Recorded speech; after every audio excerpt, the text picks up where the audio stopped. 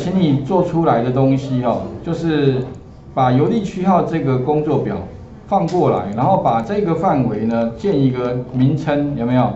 再利用什么呢 v 六函数查询，把这个查出来，然后增加一个万万度为单位的哦，然后并且呢做一个枢纽分析表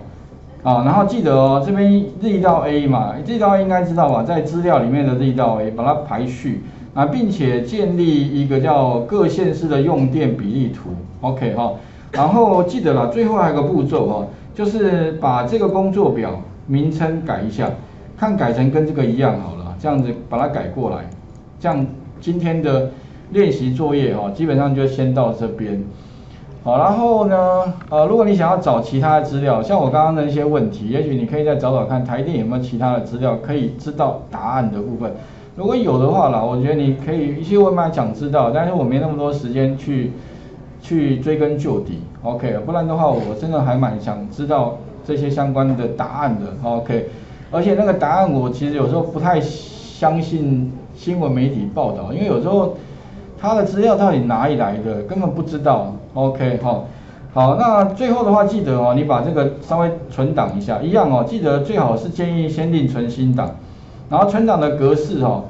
呃，我是建议你用启用剧集活跃簿，因为如果将来我们后面还会再写到一些录制剧集或 VBA 的话，哦，那档案名称的话，也许叫什么，你可以自己把它改个名称，又叫什么呃台电的这个用电统计之类的，OK，然后把它存档缴交，就完成今天的练习作业，好，OK，那画面呢再还给各位一下哦。那今天的那个作业哦，原则上就就是刚刚我讲的这个部分。好，那下一个礼拜的话哈，原则上哈，我们会再来看一下。